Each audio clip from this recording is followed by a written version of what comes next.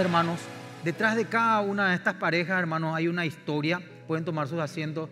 Hay una historia poderosa. Yo quiero contar así rápidamente eh, la mía. Vamos a tener dos, dos matrimonios que van a estar compartiendo su testimonio de lo que el Señor vino haciendo con ellos a través de la exposición de la palabra de Dios, a través de esa luz que es la Biblia por medio del Espíritu Santo para nuestros corazones, para que podamos tomar decisiones que bendigan nuestro caminar con Dios y consecuentemente de una manera casi inseparable, bendiga también a las personas que le toca caminar con nosotros. En un momento dado yo cuando me encontraba tratando de vivir con Luzma, y lo digo con toda la letra, tratando de vivir con Luzma porque era una dificultad absoluta. Ella venía de una crianza, yo venía de otra. Era imposible conciliar. Encima los dos estábamos reheridos, encima los dos estábamos envueltos en nuestros pañales del egoísmo. Era imposible. Y una pareja cristiana nos pagó el, el libro para hacer el curso. No recuerdo nada de ese curso, nada no recuerdo. Lo único que me acuerdo es que yo estaba enojado con Luzma y que el sofá de la pareja líder se hundía y yo estaba tan enojado porque se me endureció todo el cuello, porque yo no quería que se arrime su cadera con la mía. Porque yo sabía que si se arrimaba la cadera de Luzma con la mía, yo me iba a sentir presionado para perdonarla y yo quería seguir enojado. Después llega el evento que estamos haciendo hoy, el alcance, que es el cierre, donde las parejas en, esa ocasión hacíamos otra vez en las casas, en grupos pequeños, y uno por uno contaban su testimonio. Y yo dije, ¿en dónde estuve yo cuando sucedió todo eso que esta gente está diciendo? Nunca hicimos las tareas, volvimos a hacer el segundo curso. Ahí intentamos hacer las tareas, habremos hecho el 50% porque cada vez que queríamos hacer las tareas nos peleábamos. Nos peleábamos, nos íbamos peleados al curso. Y después hicimos una tercera vez.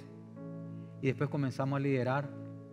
La gente hoy nos dice, Pastor Pepi, Paz Luzma. Es un milagro.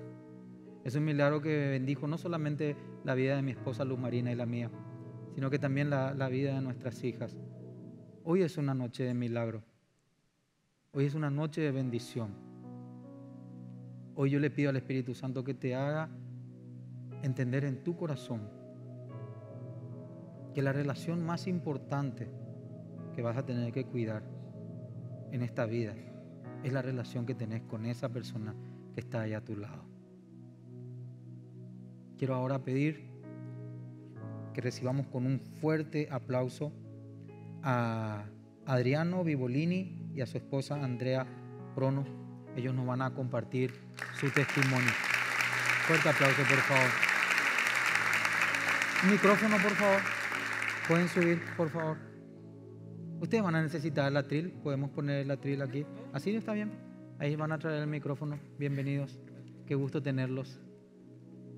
Va a traer el micrófono. Ahí, Víctor. Que el Señor, que el Señor. ¿Cómo? Marcelo me un asado.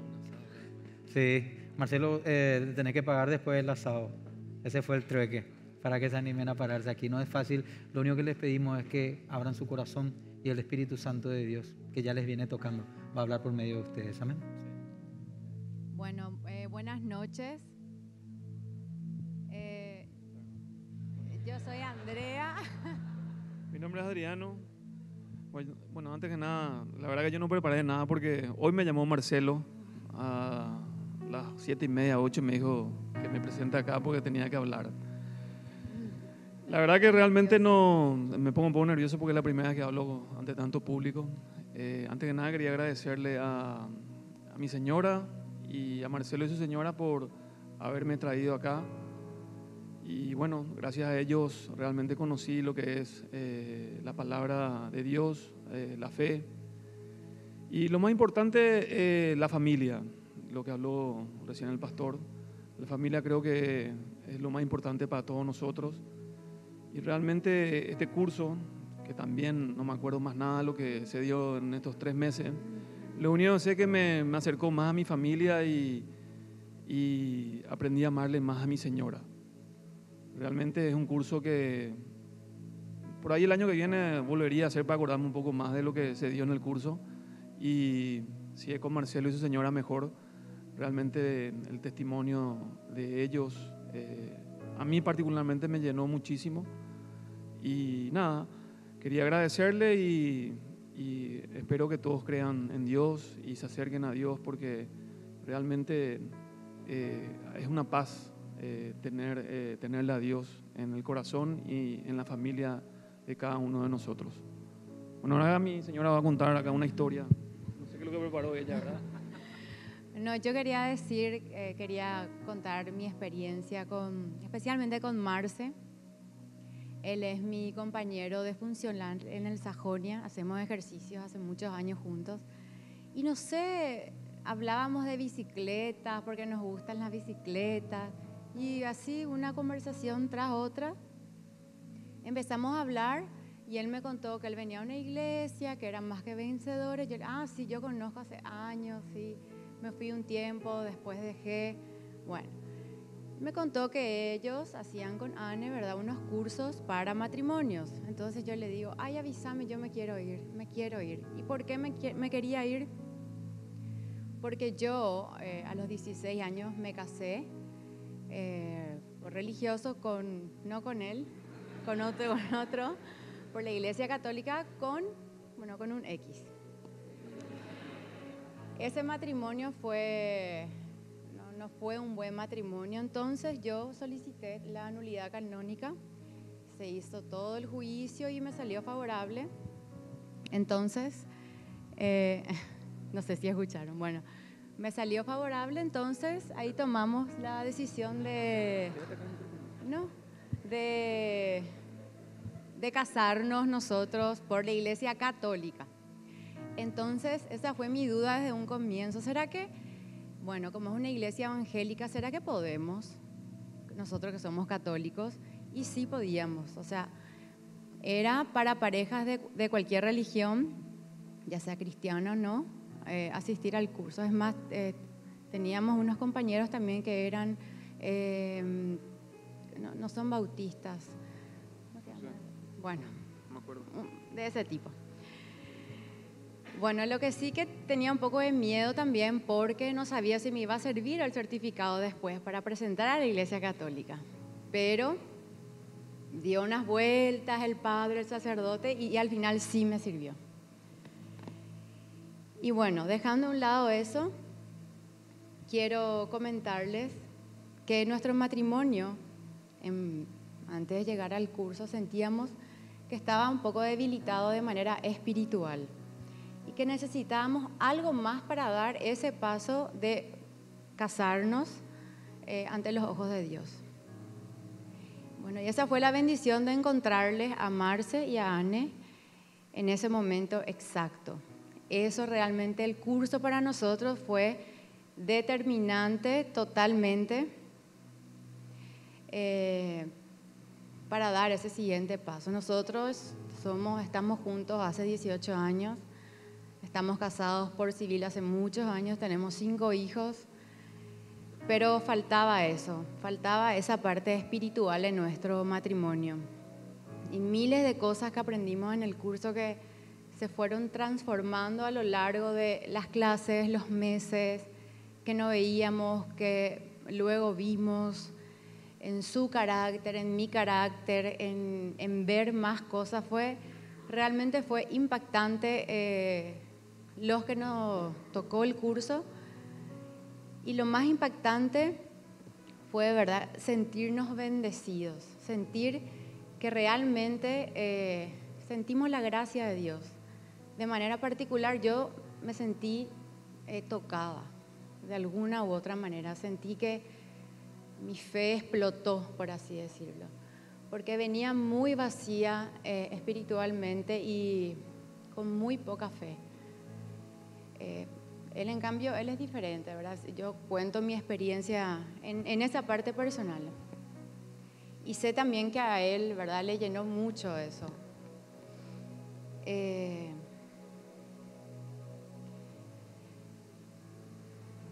Entendimos, no, también entendimos que los tiempos de Dios son perfectos. Entendimos que todo ocurrió por una razón. ¿Cómo fue que yo le encontré a Marce en el camino? ¿Cómo fue que Él me iba a traer a este lugar, a hacer sentir todo esto, a restaurar nuestro matrimonio, a, a cambiar nuestras vidas? ¿Cómo fue que Él fue la persona que puso Dios frente a mí hace muchos años encima. Y, llegó el momento justo y nada, estoy acá ahora. Em, Gracias Marcelo, nos casamos. Gracias a Marcelo y a Anne. También quiero contarles que cada una de esas clases fue un poco difícil realmente traerla a él. Yo quería venir, yo de cabeza así, vamos. Era, pero a, traerla a él me costó un poquito más. Es más, tuve que dejar una reunión de, de pádel ese día, que ni él ni siquiera juega pádel. Era el tercer tiempo del pádel para venir. Bueno, en fin. Pero,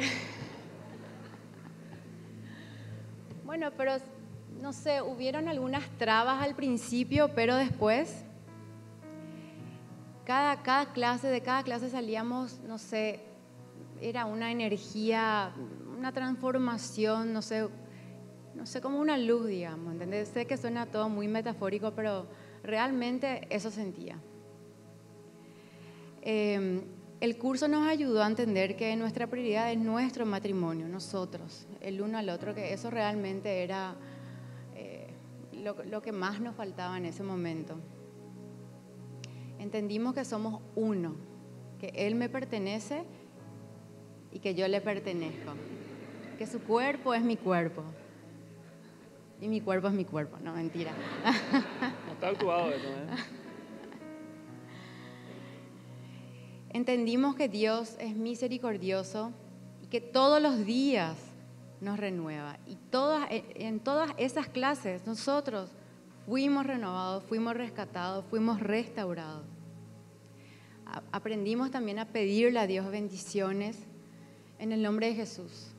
Aprendimos que el Espíritu Santo está con nosotros, nos acompaña y también aprendimos a entregar y a poner en manos de Dios todas las situaciones que no podemos controlar.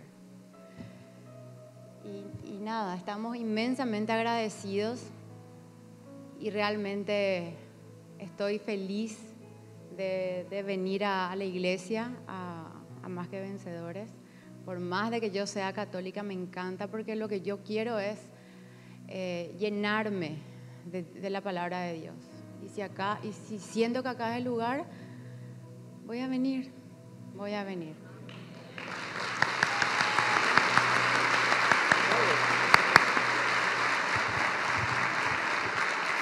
Gracias, gracias Adrián. Gracias Andrea. Son una bendición. Que la bendición del Señor continúe en la vida de ustedes. Y bueno, lo que dijiste mi hermana así en eso, en ese sentido así metafórico, ¿sabes qué es? Es el Espíritu Santo de Dios que está tocando la vida de ustedes. Eso es lo que está pasando.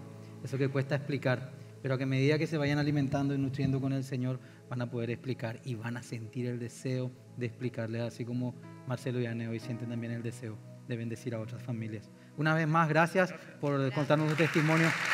Gloria a Dios. Gloria a Dios. Ahora le quiero dar la bienvenida a Osvaldo Vera y a su esposa Yanaína. Si pueden pasar, por favor. ¿Está Osvaldo y Yanaína? Bienvenidos.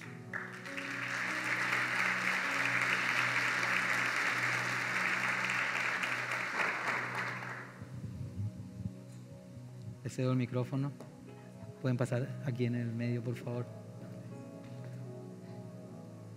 Buenas noches. Estoy un poco nerviosa también. bueno, somos Janina, pastor, y Osvaldo. Janina escribí para más. Estaba sentado al lado de Yanaina. Bueno, somos Janina y Osvaldo. Em, me pidió que hable primero. Eh, estamos casados hace nueve años, tenemos tres preciosos varones.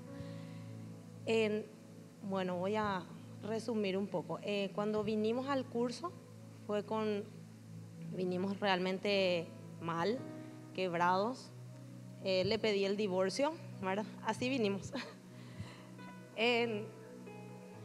El curso era nuestra última, nuestro último cartucho ya para quemar. Si con el curso no funcionaba, ya nos separamos, nos divorciamos. Eh, Leti y Manuel son nuestros líderes, recuerdo que en la cuarta clase le escribí a Leti un domingo por ahí. Le dije, Leti, yo ya no me voy, eh, no quiero saber nada. Yo estaba muy enojada em, porque peleábamos, volvíamos, peleábamos, volvíamos, Me convenció él, vinimos al curso, discutimos de que vinimos. Eh, yo no quería saber nada. Eso él quería que yo que recalque que era yo el problema, que no quería saber nada.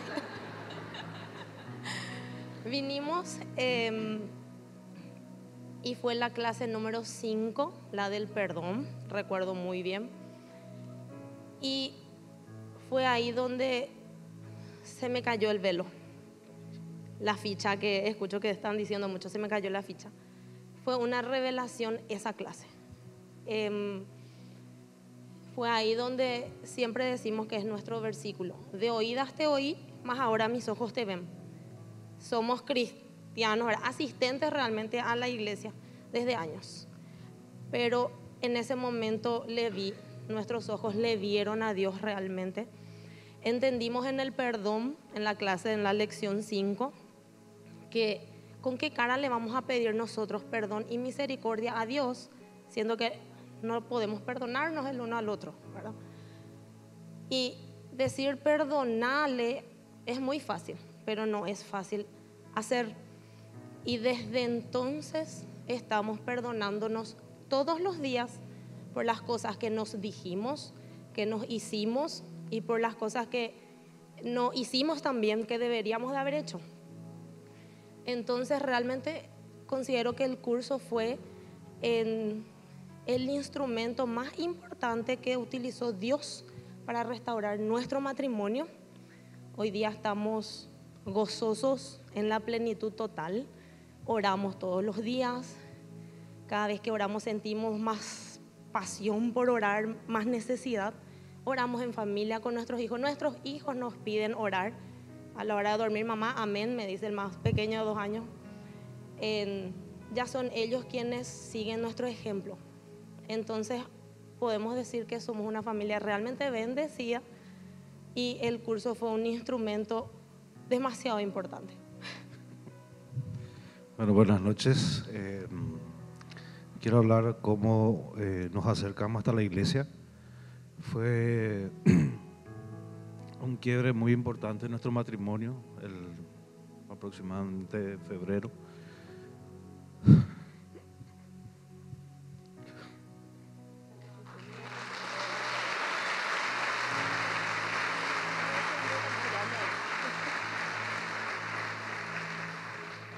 Había decidido ponerle fin a mi vida.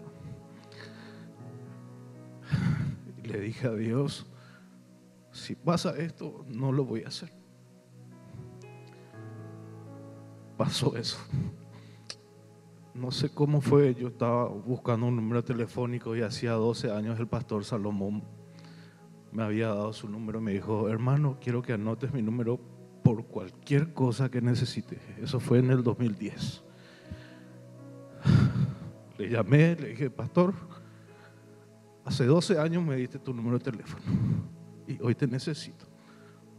Esto y esto está pasando en mi vida, yo ya no quiero seguir viviendo.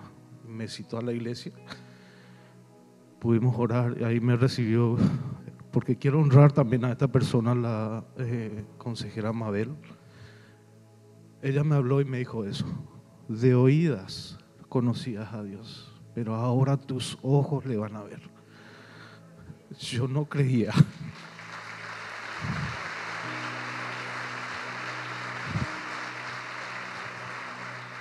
Yo no creía, pero tenía esa pequeñísima confianza.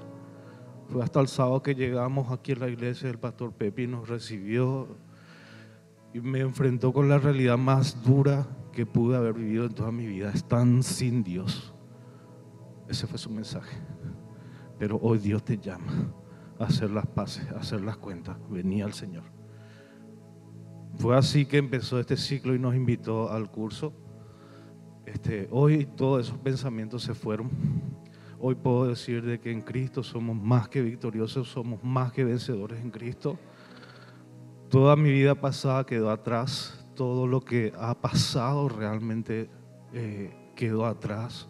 Hoy nos nuestros pensamientos los llevamos cautivos a la mente de Cristo y estamos todos los días orando, todos los días, porque sabemos que si dejamos de hacer esto, lo único que nos queda es una perdición. Todos los días oramos, todos los días con nuestros chicos, le alabamos a Dios. Y este curso nos sirvió en gran manera, y como dijo Yani, esta fue la última alternativa, porque después ya era el divorcio, ya no había más nada que hablar. Y también Leti fue parte importante, nos insistió, vengan así que, no Leti ya me pidió el divorcio, no, no, no, vengan así que, no, pues ya no quiere saber nada de mí. Yo voy a hablar con ella, tranquilo. Así peleado, así vengan. Y así vinimos. Y así terminamos. No terminamos peleados. No, peleado no, terminamos el curso. Pero realmente eh, vemos la mano de Dios en nuestras vidas. Algo que a los ojos humanos era imposible. ¿verdad? Pero para Dios sí es posible.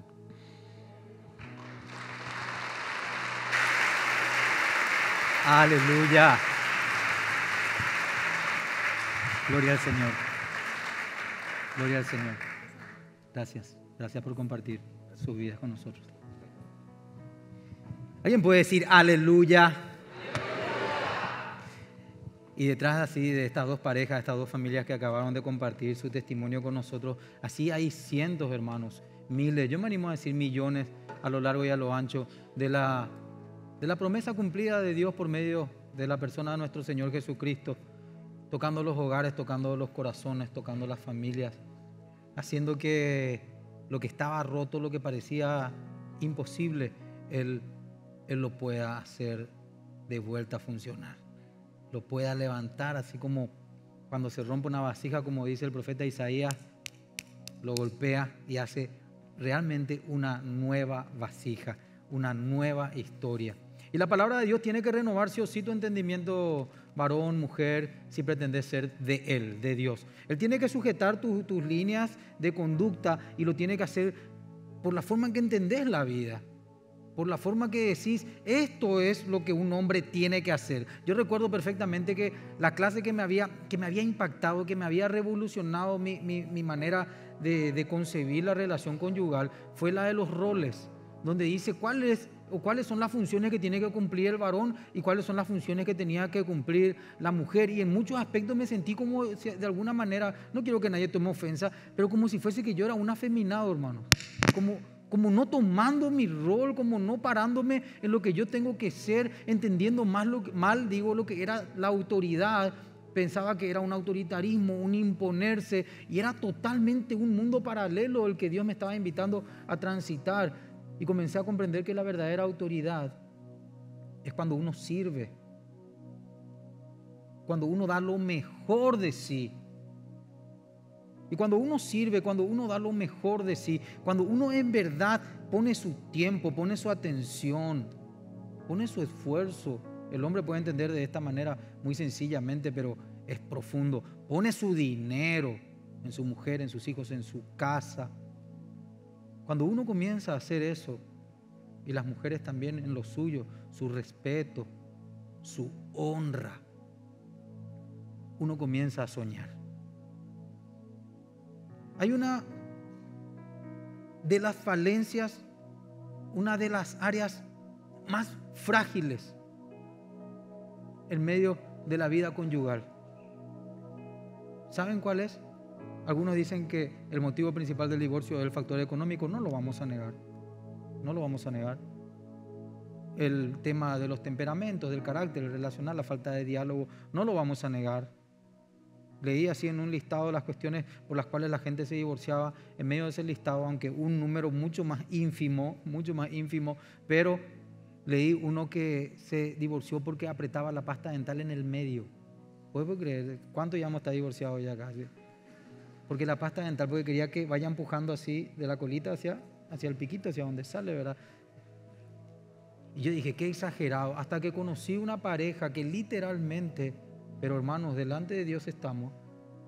Se enojaba con su mujer porque dejaba el, pedazo así de pelo en el, en el lavamanos. O dejaba así la taza así, no, no, se lavó bien. Dios mío, ¿cuándo nos vamos a divorciar acá? No estoy diciendo que hay que dejar el pelo, no estoy diciendo que hay que empujar eh, la pasta dental desde el medio. Estoy diciendo que son cosas insignificantes en relación a lo que verdaderamente implica vivir juntos, unir nuestras vidas, establecer un compromiso y soñar en pos de ese compromiso. Ninguna de estas cuestiones son las que verdaderamente sirven. Lo que verdaderamente sirve es entender que no hay forma en que la familia pueda continuar su rol de ser la base de la sociedad si no lo tenemos a Dios en medio. Y con Dios, vuelvo a utilizar el término, con Dios soñamos juntos. El factor que no apareció en el listado, pero que para mí es la causal, es que la pareja no sueñan juntos. Sí tienen sueños, tienen sueños, el hombre tal vez de ser exitoso, tener negocios. La mujer tal vez tiene más tendencia, aunque ahora se está volviendo todo muy competitivo y recalco el término, compite la gente. ¿Y, cómo vas a competir contra tu propio equipo? Pero las mujeres tal vez se sienten más realizadas en ver a sus hijos a sus hijos, ¿verdad? Saliendo adelante, siendo buenos alumnos, siendo educados. Pero ahora hasta las mujeres están saliendo de la casa, ni siquiera tenemos ese puente entre el corazón de los hijos y el corazón de los papás. Ya no las tenemos a las mujeres porque las tenemos eh, sirviendo por dinero fuera del hogar, siendo excelentes, ¿verdad? En su oficio, en sus profesiones, pero sus hijos están siendo criados, están siendo criados por un teléfono, por la televisión, por una persona extraña. Y salen para pagar a esa persona que le va a cuidar, a esa persona que no le tuvo en su vientre, a esa persona que difícilmente, a no ser si son eventos muy especiales, pero difícilmente Dios le va a hablar en su corazón como si le va a hablar al corazón de la madre lo que es el propósito que Dios tiene para ese hijo. Hoy este discurso choca mucho con, lo que es la sociedad, entre comillas, voy a decir, moderna, porque es un término que lo, pongo en un sentido como que de rebeldía para con Dios. Todo lo que estamos viendo como modernismo se está volviendo en una rebeldía para con Dios, en una, en una contra, digo, en contra al, al diseño que Dios estableció. Yo estoy convencido que mientras voy hablando, porque yo mismo siento esa lucha, hay lucha en la mente de ustedes. Hay factores en la mente de ustedes que, que controversia en, en relación a lo que estoy diciendo. Porque nos han enseñado mal. El tema es, tenés que decidir a quién vas a creer a Dios o a la filosofía que separa tu confianza de Dios. Porque como sociedad nos está yendo muy mal. Tenemos que soñar como parejas, tenemos que soñar juntos. Los matrimonios que sueñan juntos son matrimonios sanos, son matrimonios que se renuevan, son matrimonios que armonizan, quiere decir que unen su fuerza. Vuelvo a decir, no podemos soñar por separados. Vamos a hablar que es importante que tengamos sueños los hombres y es importante que las mujeres tengan sueños personales. Pero lo que implica juntarlos, vamos a entender la bendición de narrar, de decir, de comunicar. ¿Cuáles son tus anhelos? ¿Cuáles son los deseos que tenés? Los matrimonios que sueñan juntos son matrimonios que perdonan. Dios tiene sueños para tu familia. Si esta pareja no llegaba, la última, la de Osvaldo y Janina, si no llegaban a la clase 5, donde se les enseñaba que el perdón no es una emoción, no es que vas a sentir perdonar, que el perdonar no es sufrir de una enfermedad como amnesia, no es que vas a olvidar cuando dice la palabra de Dios, me olvido de tus pecados, no me acuerdo más de ellos, no es que Dios sufra amnesia, lo que está diciendo es, nunca yo te los voy a reclamar. Dios renuncia a pedirte cuentas una vez que te dice, te perdono. Una vez que por medio de Jesucristo Él te libera. Una vez que por medio de Jesucristo también nosotros reconocemos y pedimos perdón. No va a servir de nada que yo diga esto si es que no tomas conciencia en tu corazón de que necesitas soñar con tu cónyuge. Vuelvo a decir, Dios tiene sueños contigo, con tu familia. Y cuando oigas su voz, no endurezcas tu corazón, dice Hebreos 3.7. sino que predispone tu corazón. Quiero invitarte que digas, predispongo mi corazón para oír la voz de Dios y soñar con Él y con mi cónyuge. Dice también Hechos 16:31, cree en el Señor Jesús y serás salvo tú y tu casa. Comenzar a soñar con Dios. Sí o sí va a afectar tu familia, tu casa, tu historia. Es imposible que no suceda. La palabra en la carta a los Corintios nos permite tener una sana expectativa, una esperanza, un deseo de ver que nuestra vida de creyente, dice el, el esposo o la esposa que son creyentes, si están en un conflicto, llegan a los pies de Cristo, a la fe de esa manera, uno solo es el creyente, no abandone a su cónyuge, porque le dice, hombre, mujer, ¿acaso no crees que Dios puede tocar la vida de tu cónyuge por medio tuyo? Y atiendan lo que dice a renglón seguido, eso está en el capítulo 7 de la primera carta a los Corintios. Dice, de otra manera vuestros hijos serían totalmente del mundo, serían inmundos, dice la versión Reina Valera, que es la que leemos aquí. ¿Qué quiere decir eso? Sin el Espíritu de Dios, sin esperanza y sin Dios. Quiero pedirte ahora que le digas, me voy a quedar a tu lado, decirle. Porque creo que juntos será bendita nuestra casa. Los sueños de tu cónyuge son, hermano, los sueños de tu esposa que se cumplan no hay que aprovecharte para pedir la camioneta. Yo sé por qué le digo. es tu éxito. Y los sueños de tu esposo es tu éxito. Tenemos que madurar. Porque nosotros queremos usar la unión conyugal para que se cumplan nuestros sueños pero no vamos a tener satisfacción en eso, en una índole espiritual, si en verdad hemos recibido a Cristo. Haya este sentir que hubo primeramente en nuestro Salvador, el cual renunció, el cual se despojó a sí mismo y sirvió a la que hoy es su iglesia, a la que tiene pacto con Él. Dice la versión, nueva traducción, eh, sí, la nueva traducción dice en Proverbios 5, 16, guarda tu amor solamente para ella.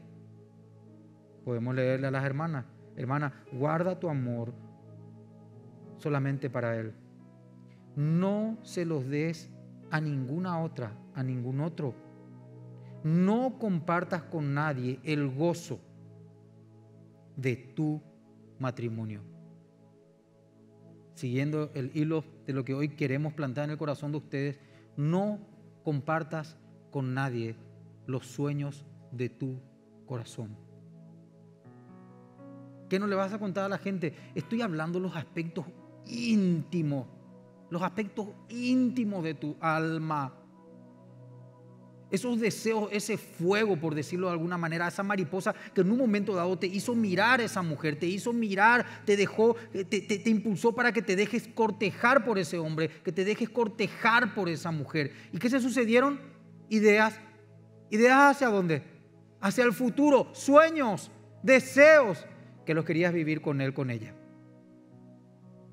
No dejes que eso lo tome ninguna persona extraña. El mundo está diseñado ahora para decirte, la pareja que es extraconyugal, esa es la relación sexual que se disfruta. Allá afuera es más feliz, acá en casa se es desgraciado, allá afuera importa más que te aplaudan, acá en casa es segundo plano. Está mal esa enseñanza, tenemos que volver a los lineamientos del Señor y buscar los sueños de nuestro cónyuge para que en verdad nosotros espiritualmente como hombres y como mujeres podamos sentirnos verdaderamente exitosos.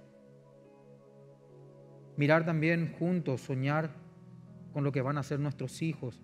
El Salmo 127, versículo 4 dice que ellos son como flechas en manos de guerreros valientes. Nunca debemos poner a nuestros hijos, nunca, en medio de los sueños que tenemos como pareja. Nuestros hijos tienen que unir los sueños que tenemos como pareja. si vos pensás que le estás haciendo un bien a tu hijo, tanto sea el esposo como la esposa, poniendo tu énfasis en que él sea exitoso, en que tu nena sea exitosa, en que ella salga adelante en la vida y descuidas tu relación conyugal, estás profundamente equivocado, profundamente equivocada. ¿Y saben por qué cuesta escapar de ese error? Porque tiene un ropaje de emoción al cual lo llamamos amor. Nuestros sueños conyugales son los que van a lanzar a nuestros hijos en la vida de una manera sana, de una manera que ellos también se van a poder renovar, de una manera que ellos van a entender lo que implica dejar a papá y a mamá y unirse a su cónyuge. Y lo vas a poder ver después sobre el corazón de tus nietos.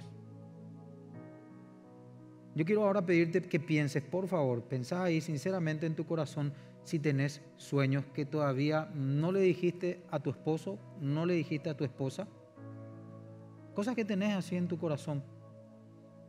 O cosas que sí le dijiste, pero vos le ves como si fuese que él o ella no actúan de una manera consecuente, como si fuese que están en dos embarcaciones distintas, como si fuese que están estirando carros por separado.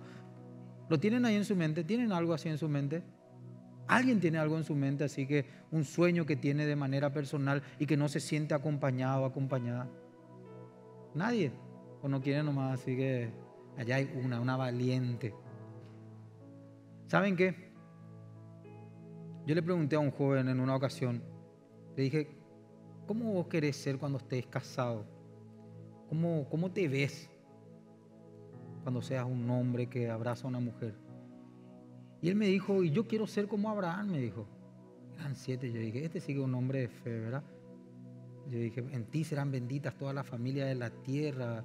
Y, yo le decía todo eso. Y él me miró así, me dijo, sí, eso también, pastor, me dijo. Entonces yo dije, ah, sí, no, eso. ¿Y, qué es lo que me querés decir con ser como Abraham? No, yo quiero ser como Abraham en el sentido que él a los 100 años seguía haciendo el amor con Sara, me dijo. En ese sentido.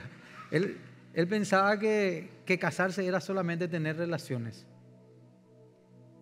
¿Cuántos son los hombres que creen que cuando decían que sí delante del altar iban a tener relaciones por lo menos día de por medio? ¿Hay alguien ahí que quiera hacer sincericidio conmigo? Qué dominio propio tienen el resto, ¿verdad? Allá hay otros, se están animando a poco. Se está Allá se levantó, se liberó otro en el fondo. Se están liberando a poco. Vamos a dejar ahí, ¿verdad? ¿Qué te quiero decir? ¿Qué pico tiene de malo que le digas con mucho respeto? Mi amor, quiero estar más contigo mi amor, quiero la esposa, quiero más atención, quiero, en verdad quiero soñar contigo, pero quiero un compañerismo. En los detalles tal vez quiero encontrarme contigo. No sé, lavando los cubiertos. Preocupándote cuando, cuando me ves. Esforzándome en algo que me gusta. Voy a hablar de cosas triviales, pero que pueden ser utilizadas por el enemigo si no las atendemos los hobbies que tenemos. Que nos terminan separando. Y cuidado que tengamos un momento de conflicto conyugal, un momento de quiebre emocional y nos vamos a practicar nuestros hobbies. Y aparece la persona que parece la respuesta a nuestra necesidad. Tenemos que compartir. No es estar todo el tiempo controlando, dominando. Tampoco tiene nada de malo que se vaya el, varón al fútbol o que las mujeres puedan salir a tomar un café con sus amigas. Eso no tiene nada de malo, tener esos espacios. Pero yo estoy diciendo tener vidas paralelas, comenzar a soñar de manera separada. Eso no va a traer un buen final a la historia que tienen como pareja. El Salmo 126 quiero que abras conmigo, por favor. Leemos todo el pasaje, dice Salmo 126. Cuando Jehová hiciere volver la cautividad de Sión, seremos como los que sueñan. Entonces nuestras bocas se llenarán de risa y nuestra lengua de alabanza. Entonces dirán entre las naciones, grandes cosas ha hecho Dios con estos. Grandes cosas ha hecho Jehová con nosotros. Estaremos alegres, dice el versículo 3. Versículo 4. Haz volver nuestra cautividad, oh Jehová, como los arroyos del Neguet. Los que sembraron con lágrimas, con regocijo segarán. Irán andando y llorando, el que y llorando el que lleva la preciosa semilla, mas volverá a venir con regocijo trayendo sus gavillas. Habíamos dicho que las parejas que, sueñan juntos, los cónyuges que aprenden a soñar juntos, son sanos. ¿Qué quiere decir eso? Hay libertad para comunicarse. Hay libertad para decirnos las cosas. Tenemos que tener en claro a dónde queremos llegar. Parece, algo gracioso, ¿verdad? De que uno quiera seguir teniendo relaciones hasta los 100 años. No tiene nada de malo. Pero para que haya relación tenemos que entender que la mujer tiene todo un esquema para estar predispuesta. La mujer si está, si está enojada tiene todo entrelazado, sus emociones, sus pensamientos y no puede fluir. Entonces el hombre ¿qué tiene que hacer? Tiene que cortejarla, tiene que abrazarla, tiene que ver qué está pasando, qué está sucediendo. ¿Para qué? Para que esté predispuesta y para que ella no se sienta usada. El hombre siempre está predispuesto, no tiene problema porque tiene una facultad que hace que se separen las funciones. Cuando está en el trabajo, él tiene capacidad solamente pensar en el trabajo y le llama a la esposa y le dice, y no estás pensando en mí, no, porque está pensando en el trabajo. Y no es que no te ame, es simplemente que está separado. Pero cuando llega en casa y el hombre ve, porque el hombre se estimula por los ojos, él automáticamente, por más que se pudo, ir, se pudo haber ido separado, pero si la mujer tiene un lenguaje con sabiduría, no de manipulación, con sabiduría, de querer de alguna manera gestar una reconciliación y la encuentra bien arreglada, él va a tener la capacidad de poder separar absolutamente lo que le enojó y poder abordar lo que la mujer le está comunicando físicamente y después hablarlo. Una de las formas que Dios estableció que nosotros nos mantengamos unidos como pareja es el estar en la intimidad.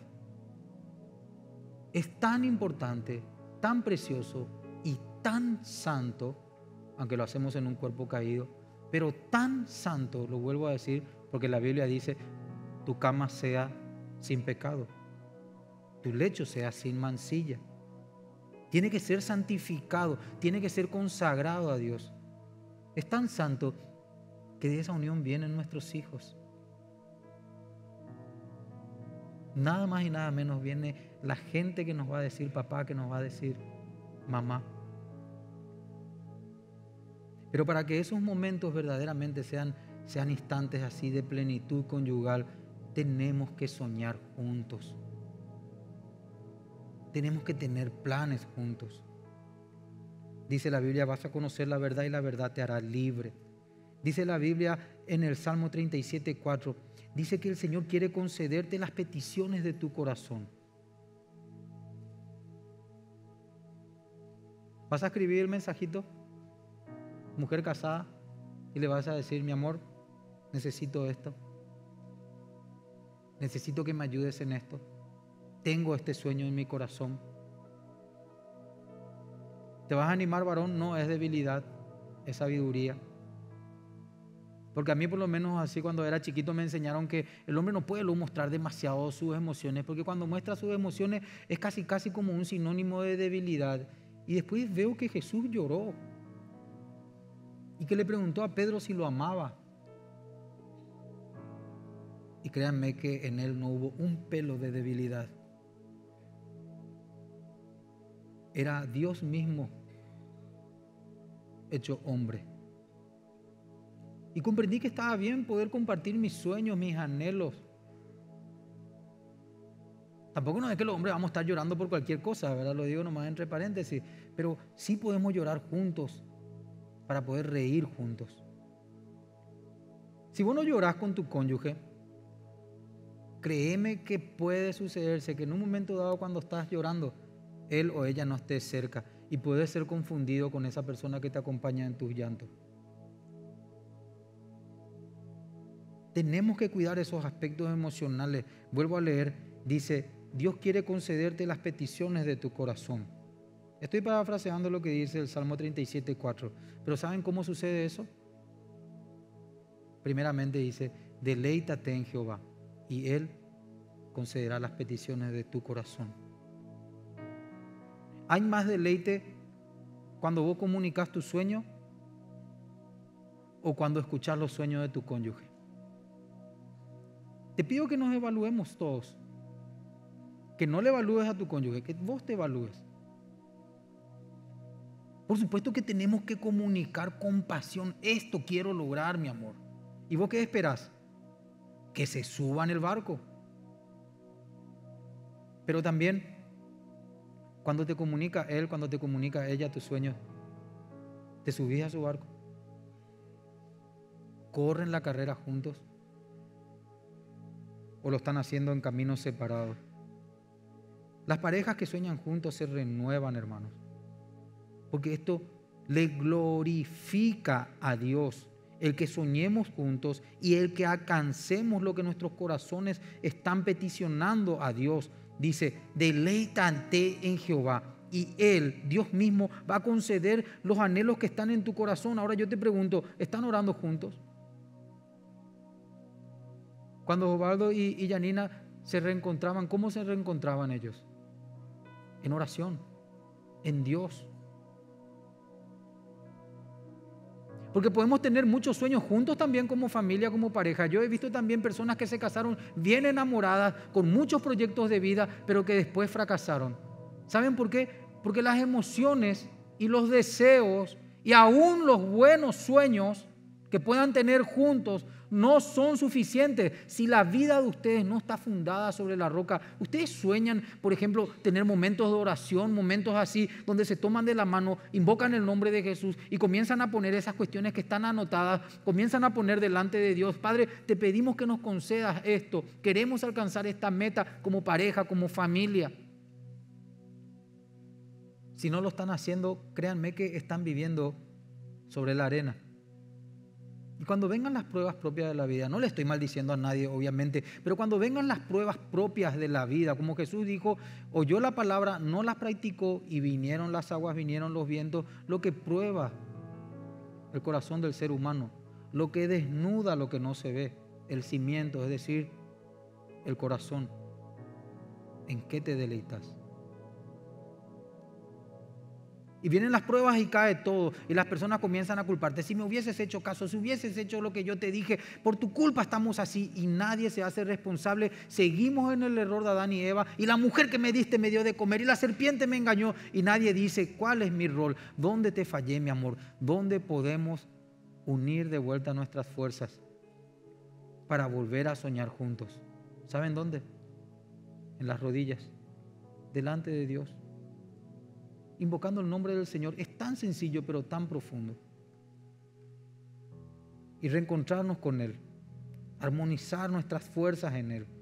Dice Mateo capítulo 18, otra vez os digo, si dos de vosotros se pusieren de acuerdo en la tierra acerca de cualquier cosa que pidieren, les será hecho por mi Padre que está en los cielos si dos de vosotros se ponen de acuerdo. Vuelvo a leer. Dice, si hicieres volver la cautividad de Sión, seremos como los que sueñan. Solamente la gente libre del pecado puede soñar junto a su cónyuge. Solamente la gente que está liberada de toda la mentira del mundo, la cautividad de Sión. Israel, los que vivían en Jerusalén, estaban fuera de su tierra volvete a Dios. Volvé al lugar, su palabra, que Él dice que es la vereda para tus pies y vas a comenzar a soñar. Y se van a encontrar en esos sueños, en momentos de oración. Y no solamente se van a encontrar en los momentos de oración como cónyuge, se van a encontrar en los momentos de victoria. Ellos dicen, entonces nuestras bocas se llenarán de risa. Los sueños cumplidos glorifican a Dios. Y dicen, nuestras lenguas de alabanza. Entonces dirán entre las naciones, grandes cosas ha hecho Dios en la familia de Osvaldo y Janina. De Manu y de Leti primero. Y después, antes de Manu y de Leti, podemos decir de Pepi y de Luzma. Y antes, de Emilio y de Lilian. Y antes, y así podemos ir. Grandes cosas ha hecho el Señor en medio de ellos. ¿Qué anhelas? ¿Qué soñas? Que tus hijos se les aplauda cuando terminan la carrera universitaria, cuando tengan un vehículo, una casa. o anhelas que tus hijos te digan, gracias papá, gracias mamá. He podido ver a Dios por medio del matrimonio de ustedes. Grandes cosas ha hecho el Señor. Dice, haz volver nuestra cautividad a Dios, como los arroyos del Neguet. La gente que, que sueña juntos son como las aguas de un río, que avanzan, que nunca se detienen, que siempre está buscando nuevos motivos para orar juntos, para luchar juntos y para festejar juntos y para alegrarse sabiendo que el alabado es Dios por medio de la unión, por medio de lo que juntos vienen haciendo para Él. Mi hermano, mi hermana, para ir concluyendo, si en verdad, si en verdad querés tener un matrimonio sólido, un matrimonio que tiene planes, metas juntos, esto va a implicar sacrificios y lágrimas, como se quebraba el hermano hace rato mientras contaba y hacía memoria de lo que el Señor venía haciendo con él, con su familia. Como dice el versículo 5, los que sembraron con lágrimas, con regocijo segarán. Existieron esos días difíciles, pero el Señor llamó a un nuevo tiempo a su iglesia, a un tiempo de sembrar de una manera que, que no va a ser fácil. Vamos a tener que renunciar muchas veces a nuestros planes, a nuestros sueños, a esos planes y esos sueños egoístas, para pasar más tiempo con nuestro esposo, con nuestra esposa, para pasar más tiempo con nuestros hijos. Nos están separando, hermanos. Gente linda, nos están haciendo soñar por separados. Le están haciendo soñar a nuestros hijos separados de casa. Lo ven como algo normal, lo ven como una virtud, casarse, independizarse, como si fuese que eso es el éxito. Evalúen a las estadísticas cuántas de esa gente después tienen familias estables. No, ya es independiente y aplauden. Tenés que salir de tu casa casado. Si todavía no te casás, ya tenés oficio, anda ahorrando, anda comprando ya terreno, invertí, prepará ya el lugar donde le vas a recibir. ¿Por qué tenemos que pretender que somos más inteligentes, más sabios, más astutos que Dios? Teniendo nuestros planes separados de los lineamientos de su palabra. Te vuelvo a repetir, tener una familia unida tener una familia libre, tener una familia que avanza, que cumple sus metas en Dios, va a demandar lágrimas. Irá andando y llorando el que lleva la preciosa semilla, mas volverá a venir con regocijo trayendo el fruto, sus gavillas. Y sacrificio es igual a madurar. Y madurar es igual a entender lo que Dios dice bueno, decirle simplemente, ¿cómo? Bueno. Y lo que Dios dice malo, decirle simplemente malo. Y aquello que te diste cuenta que fallaste con tu cónyuge cuando te envíe ese mensaje o cuando salgan acá del salón y vayan y conversen, ¿cuáles son tus sueños, mi amor? ¿Cuáles son esas metas que, que, tenés todavía así como materia pendiente. Yo quiero ayudarte a construir. Yo quiero ayudarte a conseguir.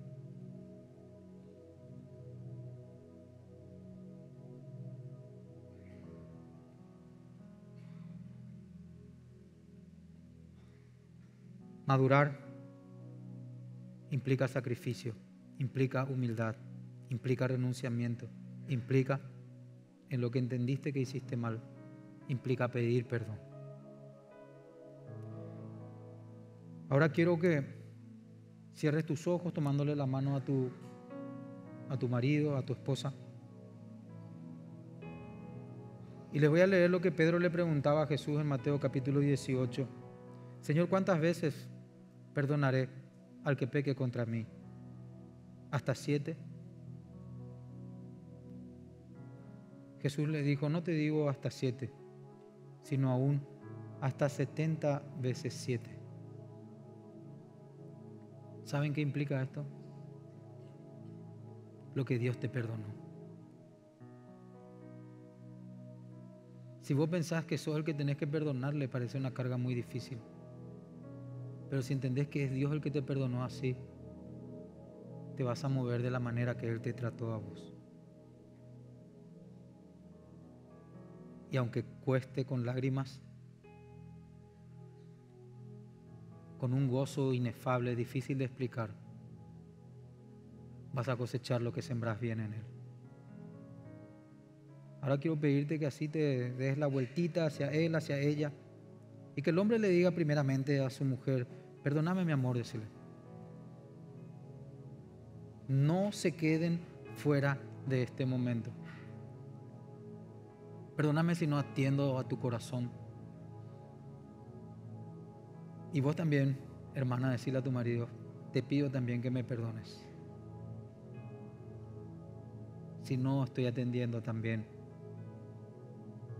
tus sueños, tu corazón.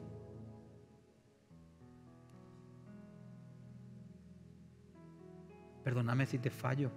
Aprovecha en este momento. Perdóname si te hablé mal. O sea, no es si te hablé mal. Sabemos si hablamos mal, ¿verdad? Perdóname, te hablé mal. No justifiquen.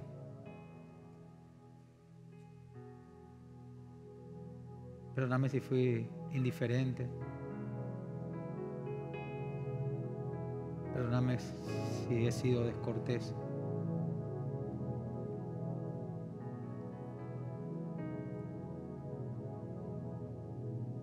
Perdóname mis fallas, por favor, te pido que me perdones.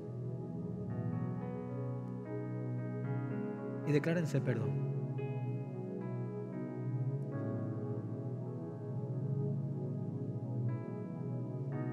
Díganse, te perdono, te bendigo y te libero de esa carga.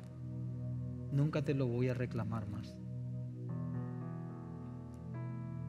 Como Dios me trató a mí.